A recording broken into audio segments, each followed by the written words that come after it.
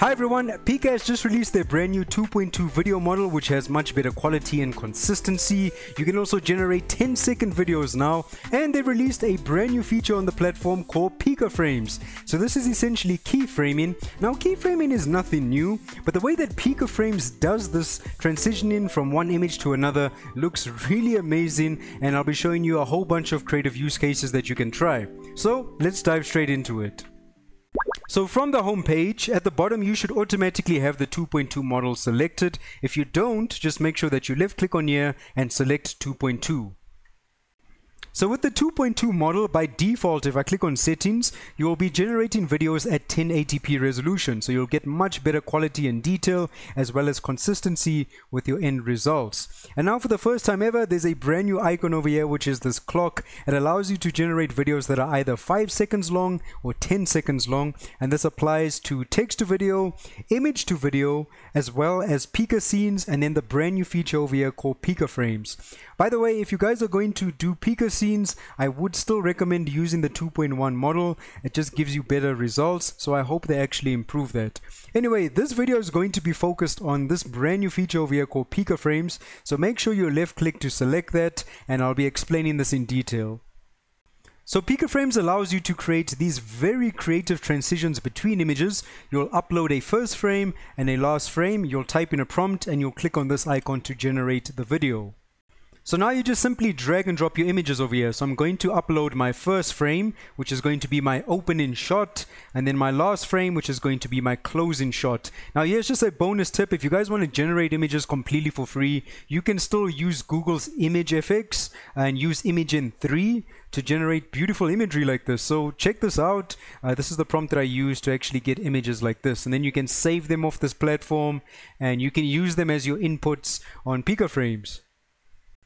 So at this point, I can actually click on this button to start generating a video, but I'm going to recommend that you include a prompt because it's better to essentially tell the AI how these images relate to each other and what should actually be happening with that transition. So this is the prompt that I'm using, and I've noticed whenever I start my prompting over here with the following term, smooth seamless transition, I always get really good results. And then the rest of this prompt is obviously going to tell the AI what should be happening with that transition. So once I've got my prompt in place and my images, I can click on generate right now, or I can change the duration. Now this is the first AI video model I've seen where you can actually choose a duration between 1 to 10 seconds. So this is amazing. You can only do this with Pikaframes by the way. Uh, but this is great. So if you want, you know, maybe a transition to happen a lot quicker, you can choose 2 seconds, 5 seconds, or even 10 seconds. So once you've selected your duration, then you can click on this button and start generating your video.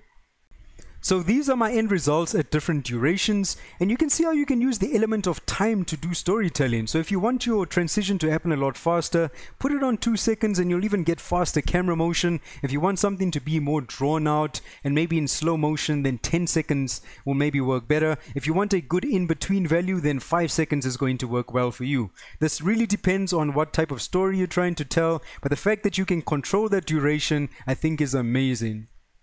This means that you can get very creative with this. So what I've done over here is I've taken my last frame from my previous video and now made it my first frame. So this means that I'm continuing that visual story. I've also generated a new image over here because now I'm going to create a new transition. I've also adjusted my prompt as needed and I actually put this one on two seconds and it's given me this beautiful transition. So this is another great way to continue your storytelling and with whatever video uh, editing software that you're using, you can then stitch these videos together to create something that's more cohesive. So now I want to show you some very creative use cases that you can try with Pikaframes.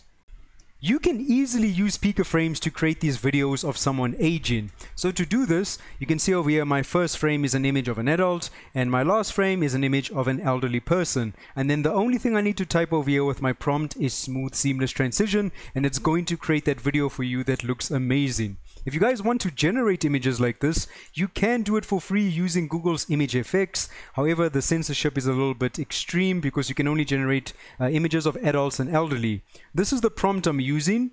Uh, the only thing you need to change in your prompt over here, instead of saying adult, you'll change that to elderly or toddler or teenager, but you must be descriptive. You can see I've even specified what color the hair is, as well as the color of the eyes and the items of clothing. That just helps to create a more consistent uh, looking image throughout those different ages. Now, if you guys go the paid route, you will have less censorship on here, and I'm using Freepik for this. You can also use Google Imagen 3 on here, and even other services for generating images, but then you can generate uh, teenagers and toddlers, and you can do the full range, so you can go from toddler all the way to elder, uh, an elderly person. And yeah, that's how easy it is to do using Pikaframes, so give it a try. So you can get creative with this. You can transition between different people. Remember Michael Jackson's black and white music video? Well, you can essentially do that with Pikaframes. Or maybe create a transformation. Maybe someone's morphing into a werewolf. Get creative and have fun. You can create these really interesting videos where someone's item of clothing just rapidly changes on their body. And to show you how this was created, you can see I've got a first frame and a last frame, but you'll notice that in this video, the person's face as well as the background hasn't changed. So how did I actually do this? So the item of clothing was actually changed using inpainting. Now you can do inpainting with Freepik. Keep in mind this is a paid service, but if you wanted to try this, this is a very easy way to do it. You just click over here and you select retouch now you would essentially just drag and drop your image over here right to upload the image and then you just adjust the brush size. So you want to paint a mask over the the, uh, the area of the image that you actually want to change.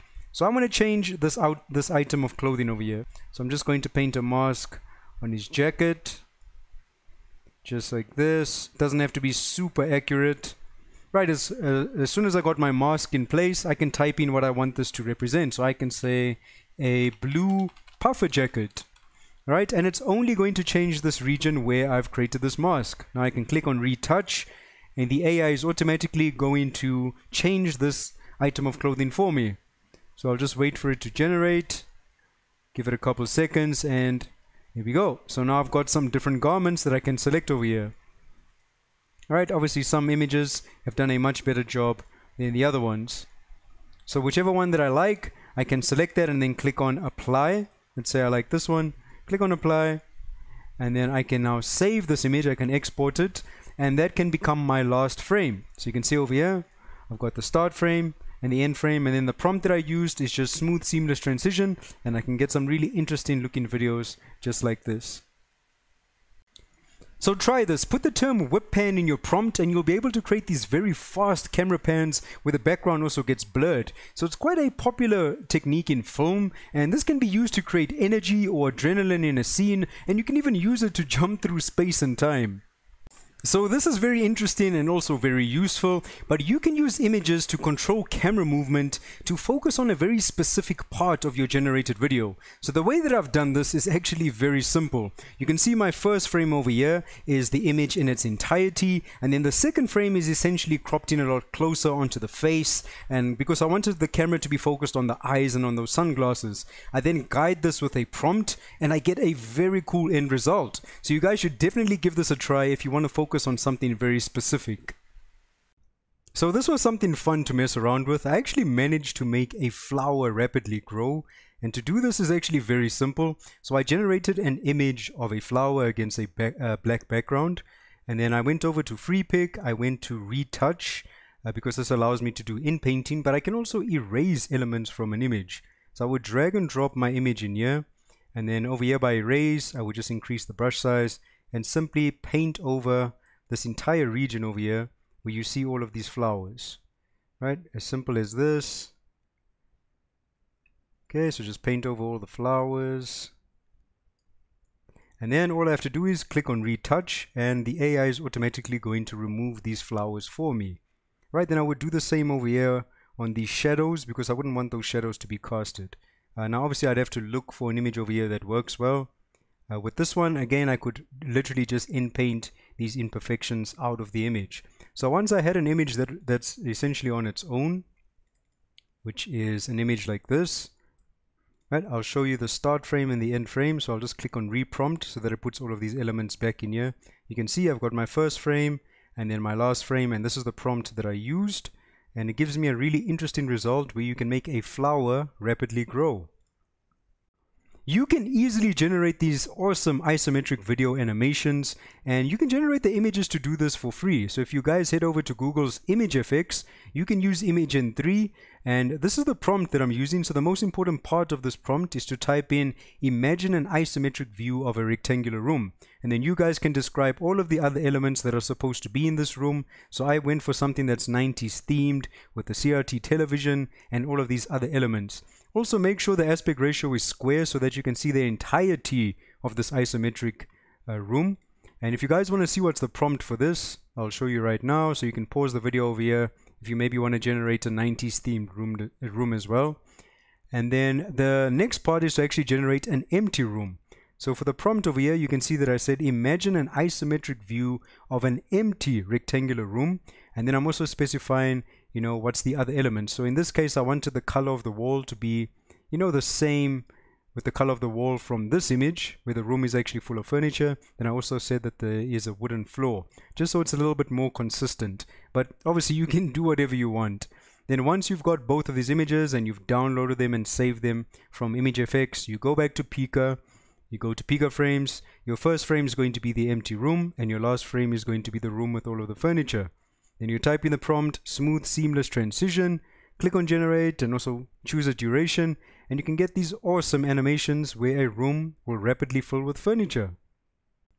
Definitely play around with the elements and especially the element of fire. I've noticed that Pikaframes creates these really mind-blowing transitions that includes fire and yes this is an excuse to play with fire and have fun with it. As you can see over here I turned this eagle, this Philippine eagle into a flaming eagle. I also experimented with something fashion related and turned a dress made out of bark that's on fire into a dress made out of ferns and flowers. So get creative and have fun you can try and generate an opening title. So as you can see over here, there's this beautiful gradient and then eventually the title appears. So to do this is super simple. Uh, again, you just need two images. So the first image over here is going to be this gradient uh, image that I've generated with Freepik, uh, which is this image. Right, as my starting frame and then the next frame is going to be the image that has my text included right? And then that transition that happens between these two images with this prompt, you can see I said smooth seamless transition, a swirling gradient with shapes, reveals text, and then it gives me this awesome end result. So go ahead and experiment with this as well if you guys maybe want to create some opening titles.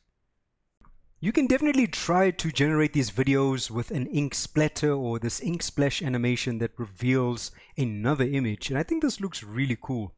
So to actually generate these images, I used Freepik uh, because on Freepik, you can actually click on styles and there's an ink print style over here. So I already have that set up for me. And then the prompt that I used over here to generate this image is this following prompt. Then I generated another image with this ink splatter, just like that. And then back on Pika, again, it's as simple as uploading the ink splatter as my first frame and then the Samurai General as the last frame. And then this is the prompt that I used to create this beautiful revealing transition. So maybe give this a try. And just one more tip, if you actually make the first frame a completely white frame in this case, you'll actually get the second image to be revealed, uh, which actually looks quite interesting. Like here's an example where, I mean, you can see the prompt over here as well. The samurai general just appears on this white canvas from black smoke. And uh, I think these transitions look very interesting. Uh, there's another example. So yeah, definitely give this a try if you guys want to go the route of creating these ink splash uh, revealing animations. You can use Pikaframes to generate loops. The easiest way to do that is to use the same image as both your first frame and your last frame. You then type in a prompt describing what you actually want to happen between that transition and you'll get a looping video just like this. So you'll notice when it plays, when it gets to the end of that 5 seconds, it then loops back to that first frame and because both frames are the same, it's going to create a looping video. Another creative loop that you can try is called a boomerang loop and you can do this with editing software. So if you've generated a video using Pikaframes, you essentially need to just duplicate this video. So I'm going to hold on Alt and drag over here to duplicate it.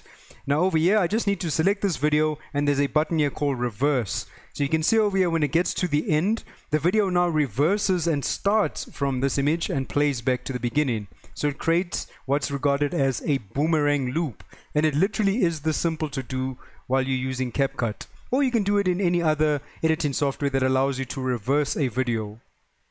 You can also create a loop using two separate videos that you've generated with Pikaframes. For instance, this first video, this was the start frame and this is the end frame. So that's one video. Then I generated another one where this image is now the start frame and this image is the end frame. But because it's a different video, the actions between these two videos are completely different, which is what makes it very unique. But you're still going to get that loop that happens. So give this a try and experiment with looping using Pikaframes.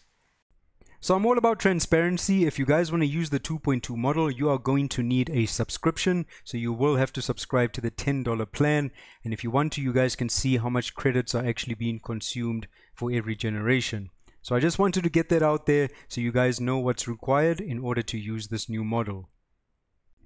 Alright, so that's going to be the end of this tutorial. Now you guys can see how powerful Pikaframes is. You can do so much with keyframing. And if you guys discover any other creative use cases, feel free to let the community know by dropping a comment down below.